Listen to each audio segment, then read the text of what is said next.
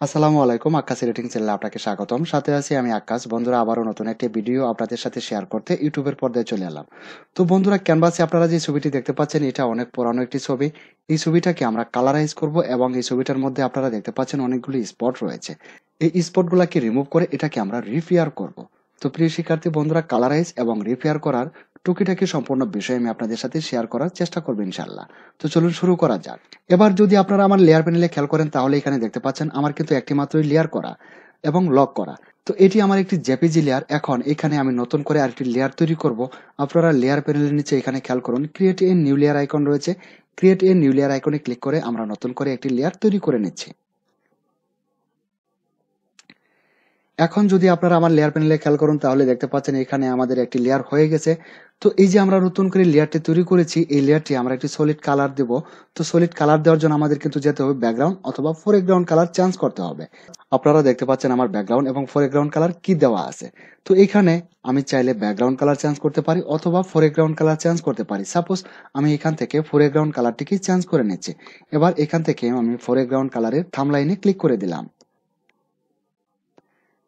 Click করার পর আমরা দেখতে পাচ্ছি এখানে কালারের প্যানেলটি ওপেন হয়ে গেছে। তো এখান থেকে আমি যে কোনো একটি কালার চুজ করে দিচ্ছি। তো এখানে মূল বিষয় যেটা হলো, এটা আপনি ছবির কোন অংশটুকু প্রথমে কালার করতে চান আর যে অংশটুকু কালার করতে চান, সেই অংশটুকুর মধ্যে আপনি কি ধরনের কালার দিতে চান। সাপোজ আমি এখান থেকে এই কালারটিকে চুজ করে এবার ওকে করে দিলাম।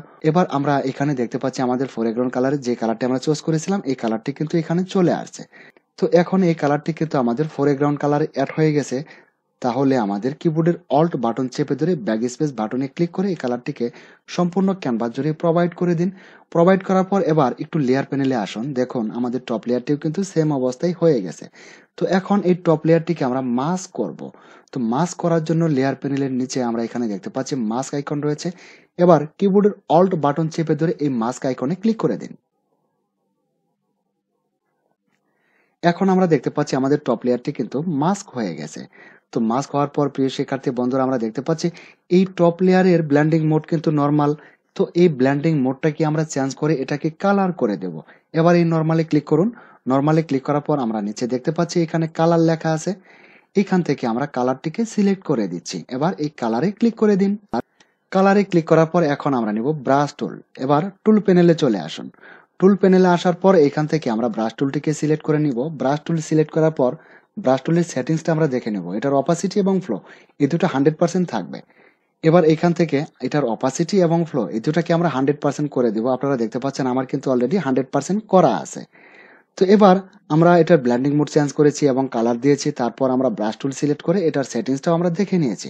তো এখন আমি যে কালারটি নিয়েছিলাম, এই কালারটিকে দিয়ে আমি তার চুলের অংশটুকু কালার করব। তো চুলের অংশটুকু কালার করার জন্য আমি ব্রাশ টুল দিয়ে এবার এভাবে মাউস ড্র্যাগ করব।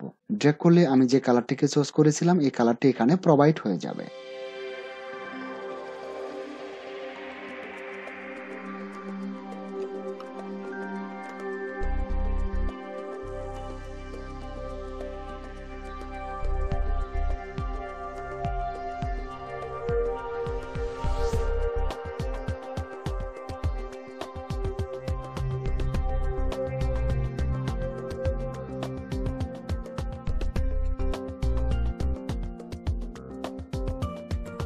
এখন এই মডেলের মাথায় যে ক্যাপটি রয়েছে, এবার ক্যাপের আমি আরেকটি কালার করব। তো কালার করার জন্য আমাদের আবারও নতুন একটি লেয়ার তৈরি করে নিতে হবে।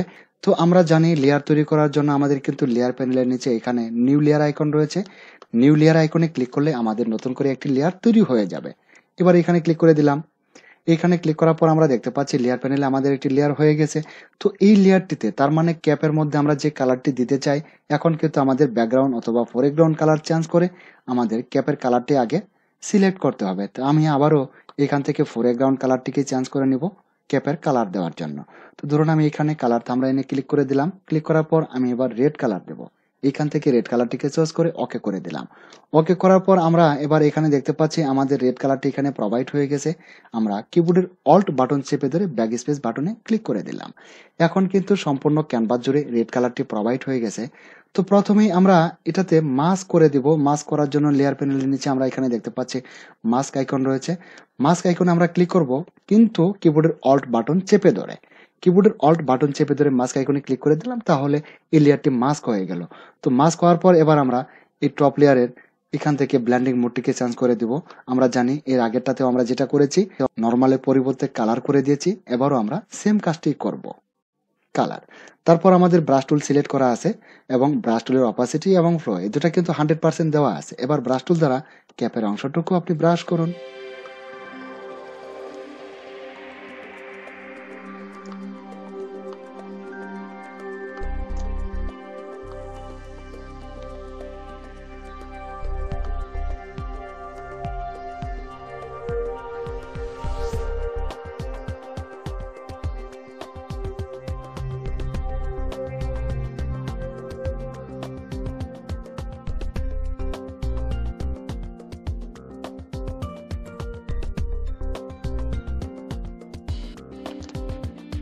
এখন আমরা ছবির যে অংশটুকু কালার করতে চাই, তার জন্য আমরা আরেকটি লেয়ার নিব। লেয়ার নেওয়ার জন্য নিউ লেয়ার আইকনে ক্লিক করুন।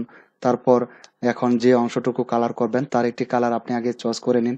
ধরুন, এখন আমি জামার কালার করব। তো এখান থেকে আমি ফোরেগ্রাউন্ড কালারটিকে আবারও চেঞ্জ করে নিচ্ছি।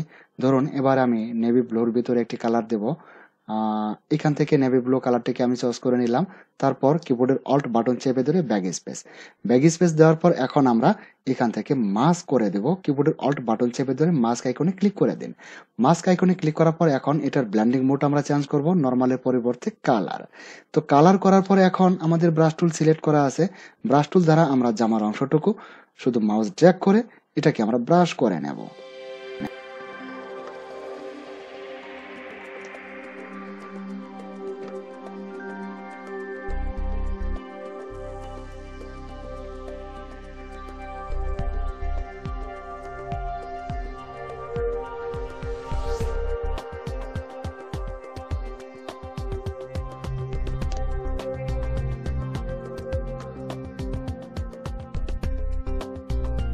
এখন কিন্তু মোটামুটি জামা, চুল এবং ক্যাপ আমরা কালার করেছি।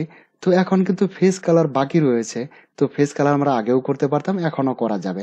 তো তার জন্য আমাদের একটি লেয়ার নিতে হবে। নতুন আরেকটি লেয়ার তৈরি করে নিলাম এবং ফেসের মধ্যে আমরা যে কালারটি দেব, এখন এই কালারটিকে আমরা চুজ করে দিচ্ছি। এখান থেকে আমি আবারও ফোরেগ্রাউন্ড কালারে ক্লিক করে দিলাম। ফোরেগ্রাউন্ড কালারে ক্লিক করার পর আমি এখান থেকে ফেসের কালারটি চুজ করব। ধরুন, এবার কিন্তু একটু ইয়েলোর ভিতরে কালার নিতে হবে। সাপোজ আমি এখান থেকে এই কালারটিকেই চুজ করে দিলাম। এবার ওকে বাটনে ক্লিক করে দিন। তারপর আমরা দেখতে পাবো এই কালারটি কিন্তু আমাদের ফোরেগ্রাউন্ড কালারে চলে আসছে। এবার কিবোর্ডের অল্ট বাটন চেপে ধরে ব্যাক স্পেস বাটনে প্রেস করে দিন। এখন কিন্তু সম্পূর্ণ ক্যানভাস জুড়ে এই কালারটি প্রোভাইড হয়ে গেছে। তো তার জন্য এখন কিন্তু আমাদের করতে হবে কিবোর্ডের অল্ট বাটন চেপে ধরে মাস্ক আইকনে ক্লিক করতে হবে। এখান থেকে আমরা কিবোর্ডের অল্ট বাটন চেপে ধরে মাস্ক আইকনে ক্লিক করে দেব। Hold alt button press mask icon তারপর আমরা এটার ব্ল্যান্ডিং মোড চেঞ্জ করে আমরা কালার করে দিচ্ছি। কালার করার পর আমাদের ব্রাশ টুল কিন্তু সিলেক্ট করা আছে। তো ব্রাশ টুল দ্বারা এখন আমরা এটাতে ব্রাশ করব।